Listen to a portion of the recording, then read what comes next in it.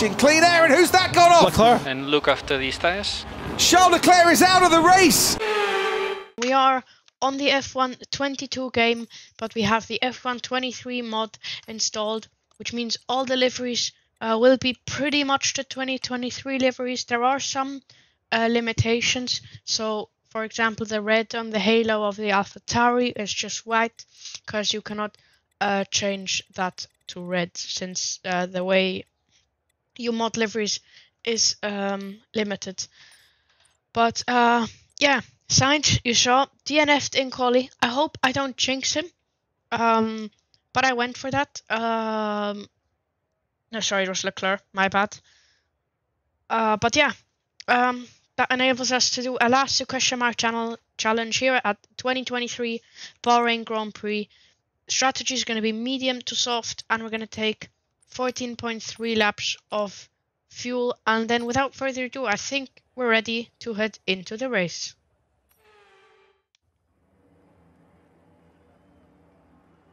The formation lap gets underway then. It's going to be interesting today to see how the dry conditions can affect the lifespan of the tyres.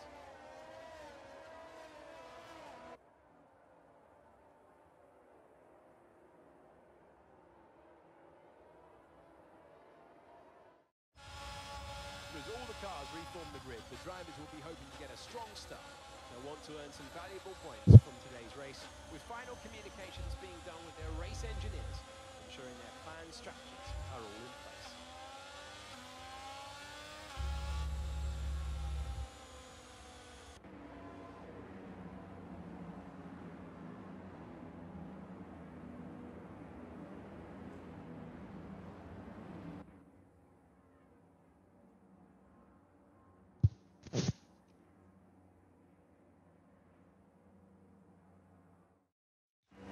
So here we are then getting ready to start round one of the 2023 season. We've got five red lights and we are underway for the first time uh, this year.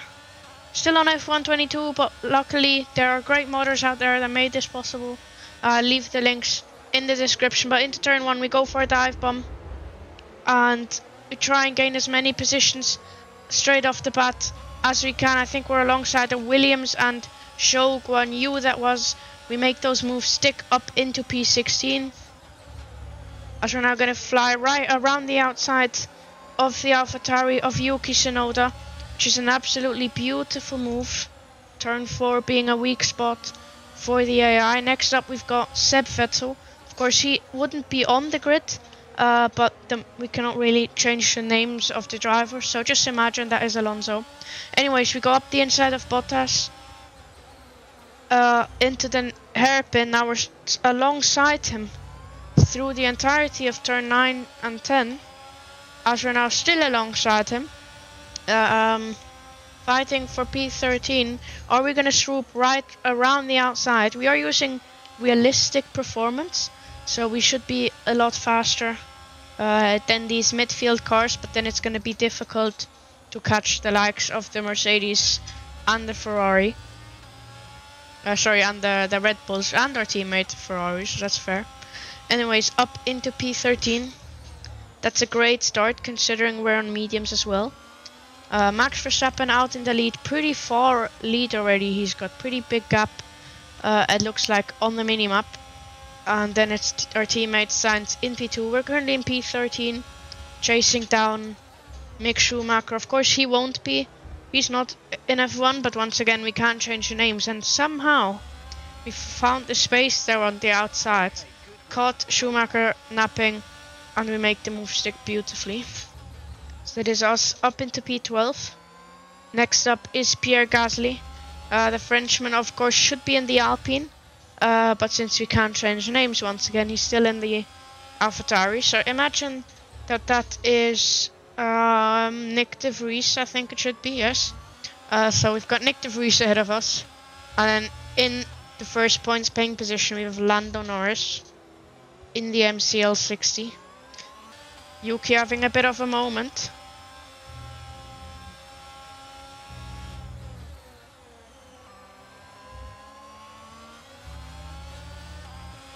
Here we go then. We accidentally bumped draft Yuki there. It's not really what I wanted to do. I'm gonna go up the inside into the final corner and we make a beautiful move once again. And that is us up into P11 now. We're picking off these cars fast because they're a lot worse than us. But then the cars ahead of us uh, progressively become faster. So it's always it's gonna become harder and harder to close up. But P11 after two laps, that's a pretty solid start if you ask me. We're within DRS range of Lando Norris as well, which is exactly what we need. So let's try and close up to the McLaren and then eventually go for the move and get ourselves into the points paying positions. So end of lap 3 then, we're right under the rear wing of Lando. I'm not gonna go for a move. I'm gonna try and prepare a nice exit so we can hopefully get past him uh, at turn 1. You can see we should be evenly matched on straight line speed. And we're gonna pull to the inside of the McLaren uh, into turn 1 on lap 4 and we outbrake him. And we made that move stick beautifully up into P10 we go. So we already ha would have one point to our name if we finish in this position although Lando Norris decides to come back. I'm not gonna defend I'm just gonna brake late because I know the AI is a bit weak at turn 4 and we hold on to P10 uh, which is great. As next up we have Ke Kevin Magnussen in the Haas. His car is a lot worse than ours. So I'm gonna go up the inside at the hairpin, making a nice clean move on the Danish driver, although he keeps it around the outside. So fair play to him, and he actually pushes off pushes us on the curb there, but then he makes a bit of a mistake and we actually get past. So up to P9, but now we have a 1.8 second gap to what should be Oscar Piastri in front of us. Uh, but due to the limitations of modding, it's still Daniel Ricciardo. Which I don't mind, but uh, it's just the realism. So yeah, now we need to push to try and close in in DRS. I don't have the greatest amount of ERS left, so it's really crucial to get within DRS of Oscar. So here we go then on to lap number six. We're right on the back of Oscar Piastri. So at a new PB. The two Alpines ahead, Ocon and Gasly fighting. As we're gonna force Oscar to go defensive. We're gonna go right, or at least try and go right around the outside. We're side by side, but we get him in turn two, and so does uh, Pierre on his teammate Esteban Ocon. And they actually fought a bit as well. I think they both went a bit deep into turn one, which means that we're instantly back uh, in their DRS range, which is very good for us. And um, yeah, P8 now. Bit of a lock up there, not ideal. But I'm expecting the first soft tire runners to box this lap as well. So we'll see uh, how the pit stops pan out. I'm gonna box on lap number 8, maybe 7. Depends if our teammate boxes this lap or on number 7. Because if our teammate boxes on lap number 7, then we can't really pit on the same lap as we'll lose time. Because the pit crew isn't ready. As Ocon actually makes a bit of a mistake there. I wonder if we can shape up a move anywhere. I'm gonna go for the dive bomb into the penultimate corner and it works out beautifully for us. Uh, we don't lose any time to Sergio, uh, sorry, to Pierre Gasly either, which is great really for us. As you can see, our teammate stays out, Max is in, and so is Lewis Hamilton. So we are can't box this. Well, we were not gonna box this lap because I'm 100% sure that our teammate will pit on this lap. So we will be going until lap number eight, and then we'll have six laps on a fresh set of softs to absolutely push flat out and see uh, what we can do is using battery here, trying to get past Pierre Gasly here, but just a bit uh, too short as we're right behind him now. This might actually hurt us, since he's on worse tires than us at this stage of the race. But then into the hairpin, we're gonna go up the inside, leave him the space on the outside, and he actually gets insane traction. So what we're gonna do is we're gonna switch back See if we can make that work. Leave him the space. We do get the DRS, but he gets the better exit as he's right alongside us now into this next left-hander. We brake later. Does he switch back us? No, he doesn't. So that is us up into P4. But remember, a few cars have already pitted, so it's not a net P4. Uh, but anyways, let's see if our teammate is going to pit at the end of this lap.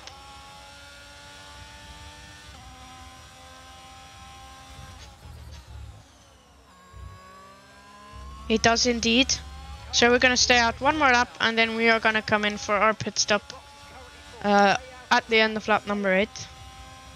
Sainz onto the hard tire. That's just classic uh, Ferrari strategy. Surprised they didn't change it uh, in 2023, but we'll see on Sunday. Well, I guess today, at the time of uploading this video, if they'll actually um, do a less than optimal strategy again. Yellow flags behind. Looks like one of the Haas is out of this race. Is it Nico Hulkenberg or is it Kevin Magnussen? Oh, looks like it was just a spin. So no one will be out, so no safety car. If we would get a safety car now, that would be absolutely insane. Uh, but we don't. Anyways, let's try and get this pit exit somewhat nicely. Uh, so this is a decent pit entry. Uh, we are on broadcast pit entry as it just makes it a bit more realistic as into the pit lane we go. Looks like no faults and we're onto the soft tire. 2.8 is a nice stop as there goes Max Verstappen, there goes our teammate and another bunch of cars. I think that's Merc and the Red Bull. And uh, both Merc, sorry. As you can see, we just rejoin. What? We just rejoin. Oh.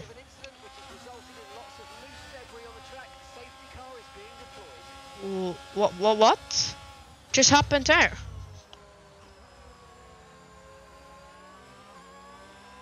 So I, I came out of the pit lane, Alonso dive bombed me, lost his wing, and now there's a safety car. So Alonso will pit, so we'll gain that position back, but then we'll be right on the back of everyone. Then we don't need to catch up at all. So I think that safety car might actually help us here. Oh, that's interesting. I never had that. We're in standard simulation damage, so I'm lucky I didn't get any side pod damage there, because he full on rammed my side pod. Uh, but that's really going to help us for the rest of this race. So here we are then on the safety car restart.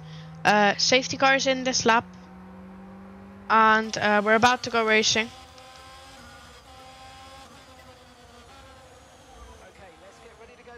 Our tires are nice and warm. Uh, we've got DRS. Now we just need to go flat out. Three laps of racing to try and make up five positions.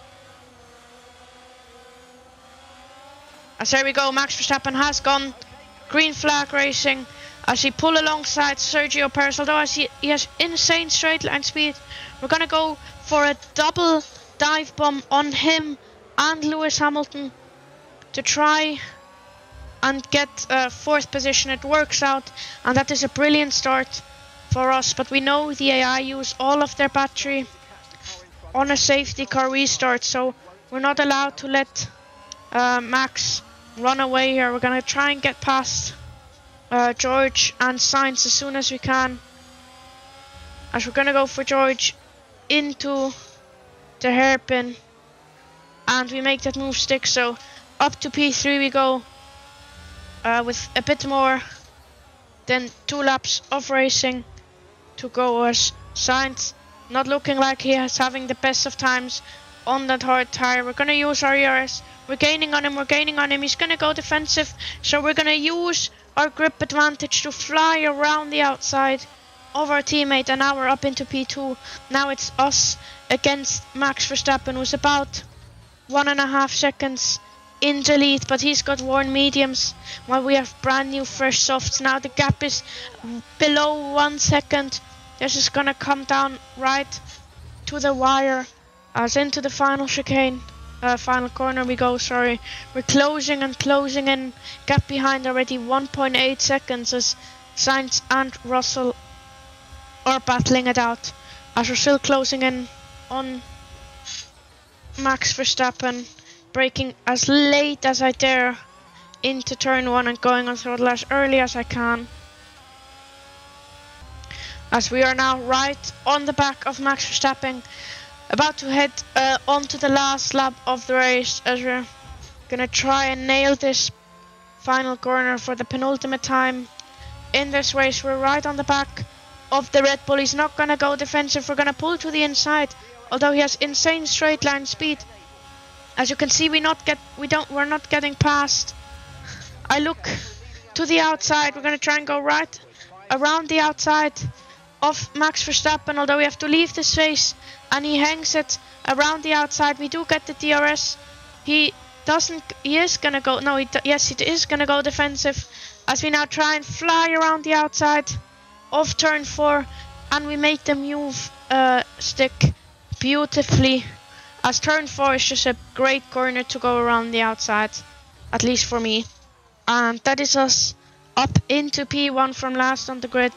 Now the question is if we can hold it together for the rest of the lap and make Leclerc the first winner of the 2023 F1 season, starting from the back of the grid. And it looks like we can. Max Verstappen is six tenths behind us, so I don't think he can really overtake us anymore unless we make a big mistake. Uh, he's within four tenths now, so he has closed up a bit. Uh, but I don't think it's gonna be enough. Through the penultimate corner we go. One more sector to go in this race. Max Verstappen is half a second back. He's gaining a lot on this back straight, but I don't think it's going to be enough. As we round the final corner, we get a clean exit, and it's going to be Charles Leclerc to win the season opener at Bahrain.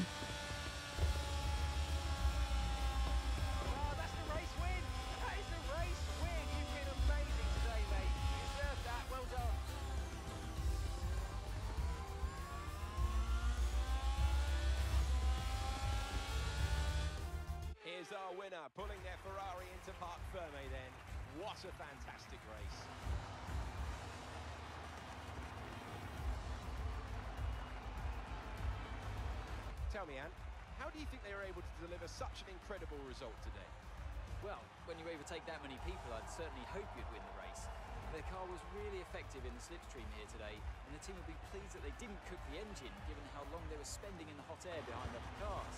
They had a lot of confidence to push their tyres hard as well, especially going into the corners, which allowed some late braking and some exciting passes.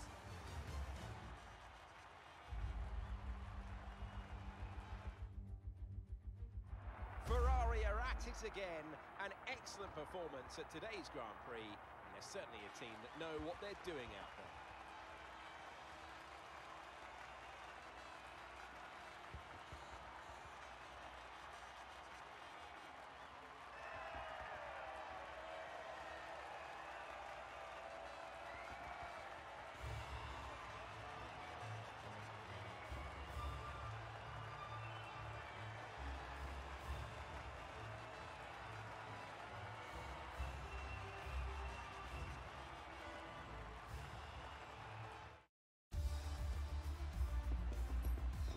Some amazing talent out there on track today, but Anthony, who would you pick as your driver of the day? Charles Leclerc showed exactly how to manage yourself out on the track today. He was almost flawless out there. Incredible stuff. Well, what an end to another fantastic weekend of racing. Thanks to everyone who's joined us, and we'll see you for the next one. So that was it then. My simulation for the 2023 Bahrain Grand Prix. If you did enjoy, please leave a like and subscribe as it massively helps me out. And I'll try and um, make more content. Also let me know your predictions uh, in the comments down below. Who's gonna win? Who's gonna be the best rookie? Who's gonna be the biggest surprise? What team do you think will be a big surprise? And uh, who will be the WDC and WCC uh, of 2023 but that's a wrap for this video Thanks for watching and until next time, take care and goodbye.